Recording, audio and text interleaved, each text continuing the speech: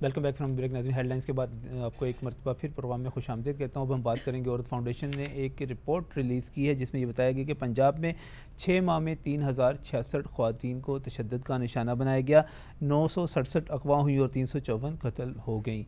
हम बात करेंगे आज के प्रोग्राम में कि खातन के हकूक़ के लिए खातन अरकान असम्बली क्या काम कर रही हैं। और ये बात जो इसी रिपोर्ट में कही गई कि लाहौर चार सौ अट्ठावन तशद के वाक़ात के साथ पहले नंबर पर रहा। क्या ये बात वाकई ठीक है कि लाहौरिये जो हैं वो सबसे ज़्यादा खातन पर तशद करते हैं? इस वक्त मेरे साथ यहाँ पर मौजूद हैं जनाब असमा बुखारी। असमा बुखारी रुकन पंजाब असम्बली हैं, पाकिस्तान पीपल्स पार्टी की तरफ़ से पार्लियामानी सेक्रेटरी हैं। असमा बहुत बहुत शुक्रिया यहाँ तशरीफ़ लाने के लिए। यहीं पर मौजूद हैं जनाब माइज़ा हमीद साहिबा माइज़ा हमीद रुकन पंजाब असम्बली मुस्लिम लीग न्यून से इनका ताल्लुक है और यहाँ पर हैं नबीला शाहीन। नबीला शाहीन जो हैं औरत फाउंडेशन की रीजनल कोऑर्डिनेटर हैं पॉलिसी एंड डेटा मॉनिटरिंग पर। बहुत बहुत शुक्रिया जी आप तीनों का यहाँ पर आने के लिए। नबीला आपसे मैं बात शुरू करूँगा। आपकी एनजीओ ने ये रिपोर्ट जारी की। ये रिपोर्ट क्या आप समझती हैं कि ये रिपोर्ट जो है हतमी है? वाक़ात इतने ही हैं या इससे भी ज़्यादा होते हैं? बहुत शुक्रिया। रिपोर्ट में तो हम लोगों ने सिर्फ़ वो वाक़ात लिए हैं कि जो हमें मुख्तलिफ़ ज़राए से मिले हैं। अखबार से हो गए या हमें दारुलमान से मिल गए या हमने पुलिस डिपार्टमेंट से जाके लिए हैं। लेकिन एक्चुअल जो रिपोर्ट है वो इससे भी बहुत ज़्यादा केसेस हो सकते हैं कि जो मंजरे आम पे नहीं आते ना उनको मीडिया हाईलाइट कर रहा है ना वो खातन खुद कहीं पे जाके उसके तो बड़ी अजीब सी चीज़ है अजीब सी चीज़ है। आपकी रिपोर्ट बताती है कि लाहौर चार सौ अठावन तशद के वाकत के साथ पहले नंबर पर आया। हम्म। मैं समझता हूँ कि लाहौर में अगर हम शराय खानगी को देखें तो बाकी तमाम जो हमारे ज़िले हैं अजला हैं इलाके हैं उनसे कहीं ज़्यादा बेहतर है। क्या इसमें भी आप ये समझते हैं कि लाहौर के बारे में ये आपके फिगर्स ठीक हैं कि लाहौर में खातन पर तशद के वाक़ सबसे ज़्यादा लाहौर में हुए? मैं समझती हूँ कि लाहौर में भी इससे ज़्यादा केसेस हो सकते हैं। ये अच्छा। वो केसेस हैं जो रिपोर्ट हुए हैं। क्योंकि बहुत बड़ा आ, सिटी है आबादी ज़्यादा है लोगों की अप्रोच ज़्यादा है इस वजह से ये इतने वाक़ात सामने आए हैं। ये वाक़ात इससे भी एक्चुअल जो इनकी कंडीशन है वो इससे भी ज़्यादा हो सकते हैं। क्यों जी? लाहौर ये इतने बुरे हैं। नहीं लाहौरियों के बुरे अच्छे होने की बात नहीं है नजम। ये एक ऐसा फिनोमिना है जिसपे किसी इलाके की किसी शहर की कैद नहीं है। हम कहते हैं तालीम फ़र्क हम कहते हैं हम कहते हैं तालीम फ़र्क डालती है हम कहते हैं रोज़गार फ़र्क डालता है मैं नहीं मानती हूँ।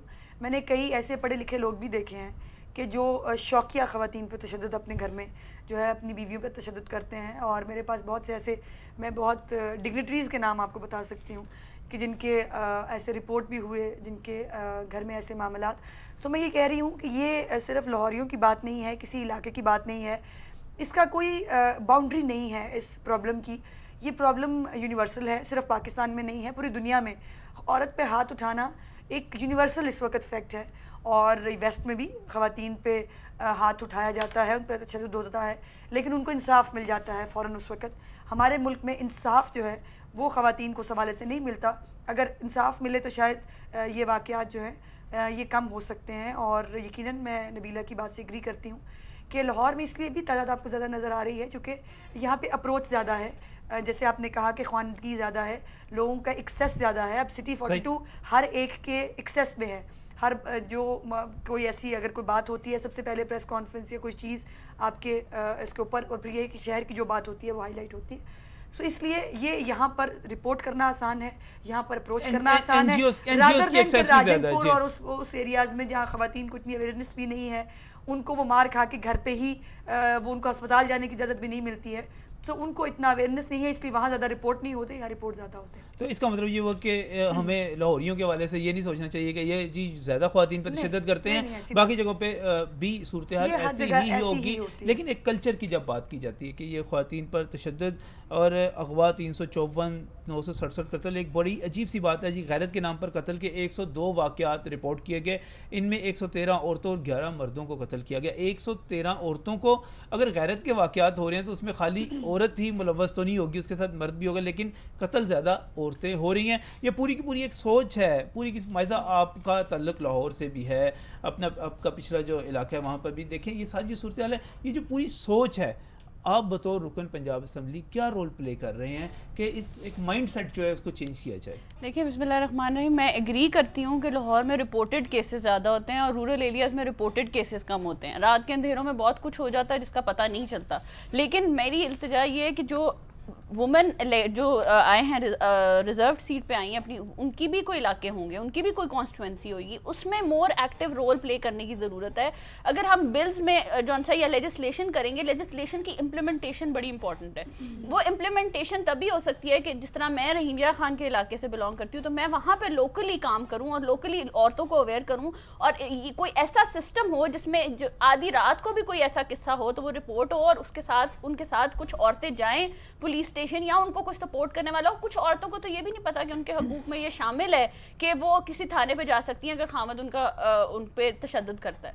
तो ये जो चीज़ें हैं ये औरतों औरत वुमेन पार्लियामेंटेरियंस का एक जो है एक जॉब बनी बनती है कि वो अपने इलाकों में जाके अवेयरनेस क्रिएट करें घर घर जाके कोई एक सिस्टम बनाए सिविल सोसाइटी के साथ बना के लॉयर्स के साथ बना के अब हर हर इलाके में औरतें भी काम कर रही हैं मर्द भी काम कर रहे हैं। लाहौर में औरतें ज़्यादा काम कर रही हैं लेकिन रूरल एरियाज़ में भी एनजीओ बहुत एक्टिव रोल प्ले कर रही हैं। आई थिंक आप एग्री करेंगी इस बात पे। और दूसरी बात ये कि लॉयर जो हैं, औरतें, वो भी बहुत एक्टिव रोल प्ले कर रही हैं। तो एक नेटवर्क बनाने की ज़रूरत है, जिसमें जो है एक अलायंस बनाने की ज़रूरत है, जिसमें हम एक औरत की मदद कर सकें एंड तक, जब तक वो कोर्ट जाती है और एक डिसीज़न नहीं होती, उसको उसको प्रोटेक्ट प्रोटेक्शन की भी ज़रूरत होती है। इसमें तो पुलिस भी इन्वॉल्व होगी तो यहाँ पे वुमेन मेंबर्स जो हैं वुमेन पार्लियामेंट के जो वुमेन पार्लियामेंटेरियंस हैं, वहाँ उनकी गाइडेंस की ज़रूरत है, उनको ओवरलुक करने की ज़रूरत है एक एक केस को। यही मैं यही मैं बात करूँगा कि जब आप खातन के अरकान असम्बली के हवाले से जब भी बहस शुरू होती है, हम कहते हैं कि खातन अरकान असम्बली इसलिए ज़रूरी हैं क्योंकि हमने अपने माशरे में, अपने मुल्क में खातन की हालत को बेहतर बनाना है। थोड़ी सी खुद एहतसाबी कीजिएगा, थोड़ा सा खुद मुझे बताइएगा कि आप लोगों ने क्या किया, इसके लिए पंजाब असम्बली ने क्या किया, अब तक क्या कानून बना रहे हैं आप क्या कर रहे हैं, ये जवाब मैं आपसे चाहूँगा इस ब्रेक के बाद।